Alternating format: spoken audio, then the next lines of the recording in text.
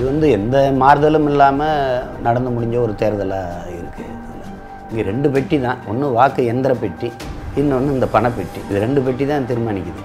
ஜெயலலிதா கருணாநிதி உதயசூரியன் ரெட்டாளி பதவி பணம். இதுதான் இங்கே இங்கே இருக்கிற அரசு.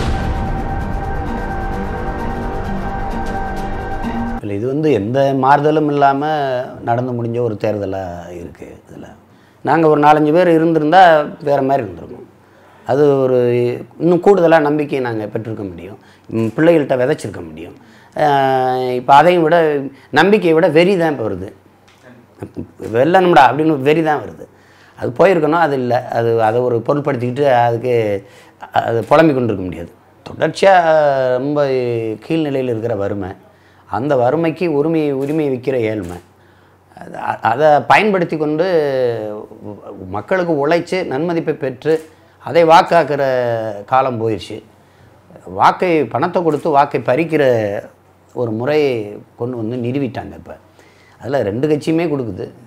அதில் அதில் யார் அதிகம் கொடுக்குறாங்களோ அவங்களுக்கு வாக்கு வருது. இங்கே ரெண்டு பெட்டி தான். ஒன்று வாக்கு எந்திர பெட்டி இன்னொன்று இந்த பணப்பெட்டி இது ரெண்டு பெட்டி தான் தீர்மானிக்குது. பார்த்தோன்னெல்லாம் உனக்கு தான் போடுற போட போகிறேன்னா உனக்கு தான் போட்டிருக்குன்னா இப்போ அது ஏன் பதிவாகலை? அப்படின்னா அதில் உலகம் பூரா இந்த வாக்கு எந்திர பெட்டியை கைவிட்டுருச்சு. கொண்டு வந்த அமெரிக்கா கைவிட்டுருச்சு ஐரோப்பிய நாடுகளெல்லாம் கைவிட்டுருச்சு. ஆனால் என் நாடு எது இது கெட்டியாக பிடிச்சிட்டு தொங்கிக்கிட்டு இருக்குன்னு எனக்கு புரியவே இல்லை. இப்போ என்னுடைய தொகுதியில் எங்கே எம்சி சம்பத்தை நுழைய விடாமல் செருப்பு தூக்கி வீசினாங்களோ அங்கே அவருக்கு எப்படி வாக்கு வருது? அப்போ இது எல்லாமே இந்த ரெண்டு பெட்டிக்குள்ளே தான் வேலை நடக்குது. பணம் ஒரு பெரிய காரணியாக இருக்குது ஐநூற்றி எழுபது கோடி அந்த வண்டியில் வந்ததுங்கிறாங்க. ஒரு ரிசர்வ் பேங்க்கு பணம் எடுத்துகிட்டு போகிற வண்டி அது.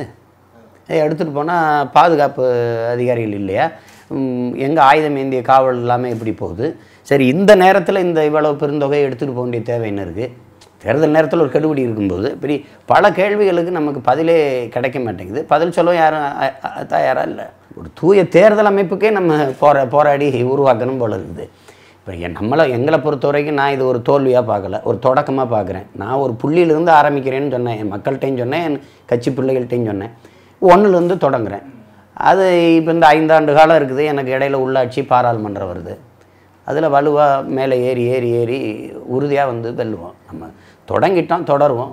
உறுதியாக வென்று முடிப்போம். அதில் எந்த மாற்றம் இல்லை.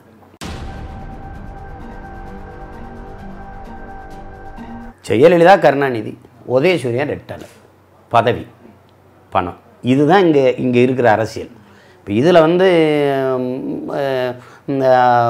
இங்கே வந்து இந்த கருத்தியல் வெல்லுது இது இந்த தத்துவத்தை ஏற்றுக்கொண்டு யாருமே ஒரு திமுக அதிமுக இருக்கிறவங்கிட்ட திராவிடம்னா என்ன திராவிடர்னா யார் திராவிட கருத்தியல்னா என்ன யாருக்கும் தெரியாது. இந்த கட்சிக்கு போனால் பதவி கிடைக்கும் இந்த கட்சிக்கு போனால் பணம் சம்பாதிக்கலாம். இவ்வளோ தான் நோக்கம் இருக்குது. அதில் அதில் தான் இந்த வெற்றிகள் இந்த அரசியல் லாபங்கள் இந்த தேர்தல் முடிவுகள் உருவாக்கப்படுதே ஒழிய திராவிட க தத்துவம் வென்றுச்சுன்னு நம்ப அதில் அது அது வென்றுச்சு அது இருந்துச்சுன்னா நீ ஏன் காசு கொடுக்குற? அது அது தேவையில்லை. நீங்கள் நீங்கள் ஜெயலலிதா செய்த பரப்புரைக்கு மக்கள் ஓட்டு போட்டுருவாங்கன்னு சொன்னால் அது மாதிரி உழவு கொடு கொடு கொடுமையே கிடையாது. அந்த ஆட்சியை இன்னொரு தடவை தொடரணும்னு நினச்சி என் மக்கள் வாக்கு செலுத்தியிருப்பாங்கன்னு சொன்னால் இது மாதிரி ஒரு ஒரு கொடுமையும் ஒன்றும் கிடையாது.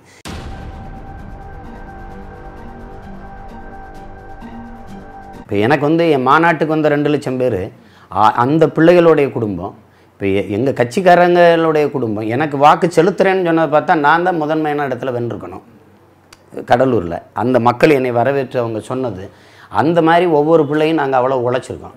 என்னுடைய என்னுடைய விழுக்காடு இப்போ நியாயமாக பார்த்தா ஒரு அஞ்சுக்கு மேலே அல்லது பத்துக்குள்ளே இருந்திருக்கணும். அது வரலைன்னா என் வாக்கு வந்து பறிக்கப்பட்டிருக்கு அப்படி தான் நினைக்கிறேன். இல்லை நாங்கள் வந்து அப்படி நான் நினைக்கிறேன். அதை வந்து பார்க்கணும். இன்னும் ரெண்டு ஒரு தேர்தலில் நம்ம நின்று பார்த்தா தான் தெரியும். ஈ- ஈழம்ங்கிறது வந்து அது ஒரு பிரச்சனையே கிடையாது. அது ஒரு தேசிய இனத்தின் விடுதலை. அது இல்லாமல் எனக்கு அரசியலே தேவையில்லையே நான் அதுக்காக தான் அரசியலே செய்ய வந்தேன். அப்போ அதனால நான் தோற்கிறேன்னா அது தோல்வியாக கருத மாட்டேன். சில பிள்ளைகளுக்கு வர முடியாமல் இருந்திருக்கலாம். சிலர் வாக்கு செலுத்தாமல் இருந்திருக்கலாம். ஆனால் ஆதரவு ஆதரவு தான். அந்த உணர்வலையை தடுக்க முடியாது. இப்போ வெளிநாடுகளில் வந்து நான் யாரையுமே கேட்கல. என்னையும் மீறி என்னுடைய தம்பி தங்கைகள் எங்கெங்கே இருந்து முளைச்சி வந்ததை நீங்கள் பார்த்தீங்க. அவங்களே பகிரியில் பேசி ஆதரவாக பேசி ஜெர்மனியில் தங்கச்சி அமெரிக்காவிலேருந்து தங்கச்சி லண்டன்லேருந்து ஒரு மருமக ஒரு சின்ன சின்ன பிள்ளைகள்லாம் அவங்களே பாட்டு அமைச்சு அப்படி அது செய்யும்போது அதானே எழுச்சி. அது வந்து த தடுக்க முடியாது தவிர்க்கவும் முடியாது.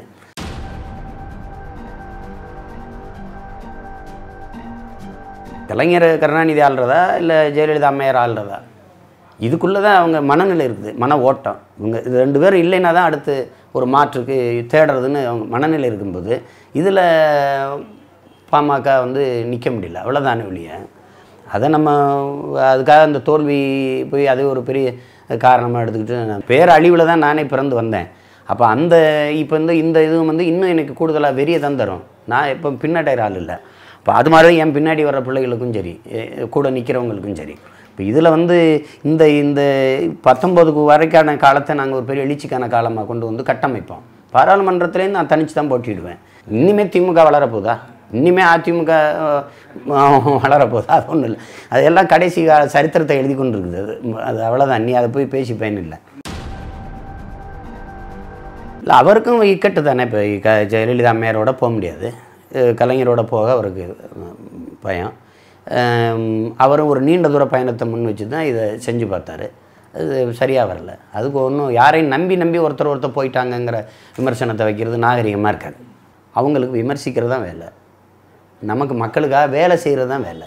இப்போ இது ரெண்டில் ரெண்டில் எதை செய்கிறதுன்னு தான் இருக்குது நீங்கள் அதான் நீங்கள் மறுபடியும் மறுபடியும் லெலின்னு சொன்னதே சொல்கிறது உன்னை விமர்சிக்கிறவர்களுக்கு நீ நிரூபிக்க போராடுவதை விட உன்னை நம்பி நிற்கிறவங்களுக்கு உண்மையாக இருக்க போராடு.